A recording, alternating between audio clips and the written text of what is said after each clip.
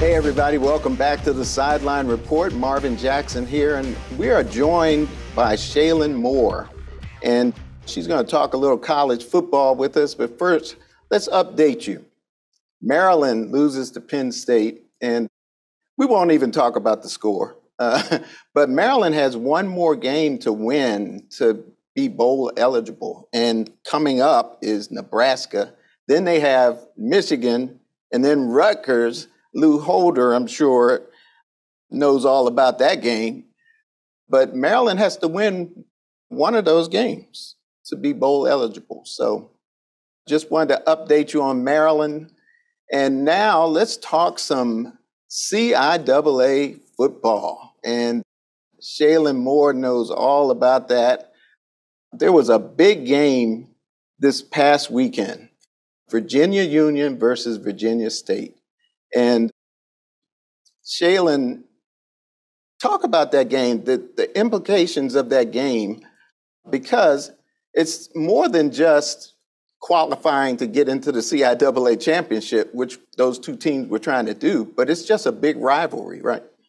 Right. Speaking of that, so not only is it a big rivalry, but it's also a game that really it depended on who was going to the CIAA championship for the Northern Division. So you have Fayetteville, they clinched the South a week early. So this game, both teams came into it with the 8 1 record. And then you have that down the road rivalry. Both teams are just approximately 30 minutes away. So it was a great matchup. I think one of the things that VSU will probably go back and wish they could have done different. You can't talk about this game without talking about that catastrophic kicking performance. They missed three field goals, all two 33 yarders, a 39 yarder, and then they missed the extra point kick, which ended up being returned for two points for Virginia Union. That was a pivotal moment right there early in the game because that kick could have tied the game for the Trojans, but instead they go down by two points. So you have to really look at what the Trojans could have done better from that perspective of special teams. And that's something that I think anyone that was a VSU fan probably had nightmares watching Sunday football and watching anybody kick the ball. Not only that, but you had some amazing top talent in those games with Jada Byers for the Panthers.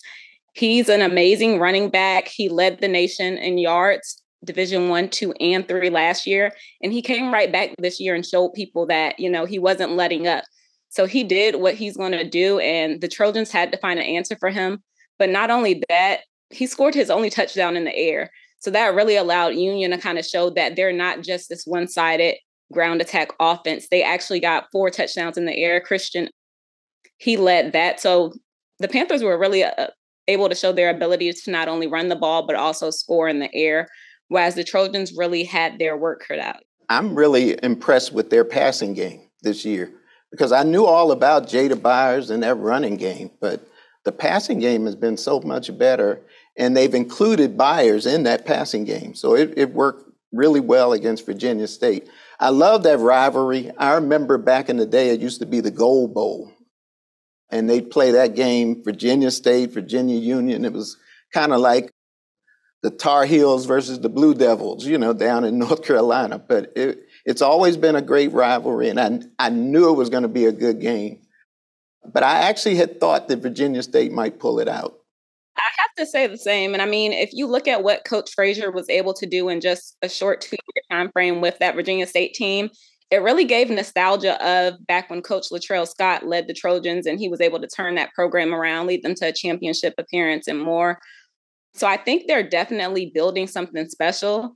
I would definitely keep an eye out on them. But then also, again, I'll speak to the players that they have on these teams. So Willie Drew, he was actually invited to the Shrine Bowl, the first player in Virginia State history and the only CIAA player to be invited. So that'll be played at Dallas Stadium. But those are the kind of players that really were in that matchup that stood out. We're looking to see if he gets drafted. I think he's very strong and high on that list to, you know, get another draftee from Virginia State to the league. And then you also just have to give credit to Virginia Union. I think in critical moments of that game where they could have let up they made the crucial plays, especially in the fourth quarter. All three drives in the fourth quarter, fourth quarter ended with a sack on third and goal, a tackle for a large loss on third and goal, and then you have that interception that was picked off. So that's how Virginia Union's defense ended that game. And I think when you play like that, you deserve to go to a championship. All right. And who do you favor in that championship game? For Fayetteville me, State's been there for a long they keep going back in the South. And you have to respect that, but I think you also have to look at some critical things. Fayetteville State's last three games, they've won by they've been on the ropes. They've been on the ropes. They've won the last three or more by less than a touchdown or a touchdown. They've actually only beat one opponent by more than a touchdown this season. So I don't think this is the same Fayetteville State team we're used to seeing. And I think Virginia Union is desperate. They're hungry and they they won a shot at a CIAA championship. So I think you have to pay attention to that. Both teams played last September in September. It was a three-point game, but I think that this Virginia Union team is totally different, and I think I'm going to have to roll with them. All right, and I agree with you. I think the the Panthers, Virginia Union, I think they're going to pick up the championship this weekend.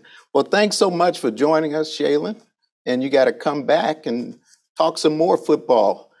Real quick, we got a few seconds. Who do you think is going to win this weekend out in Seattle, Washington, Seattle? I can tell you who needs to win.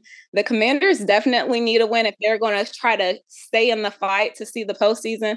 But I have to say, I believe Seattle's going to get it. They they have a chip on their shoulder after that huge loss, and then they also need this win just as much to try to reclaim reclaim the division. So both teams need to win, but I think I'm going to have to go with Seattle on this one.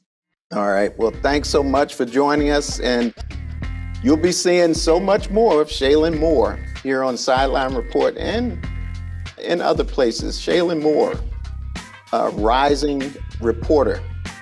So we're going to come back and we're going to have Lou, Donna, and Barry joining us to talk about that upcoming game with the Commanders in Seattle and the Ravens. So don't go away. Much more on the Sideline Report.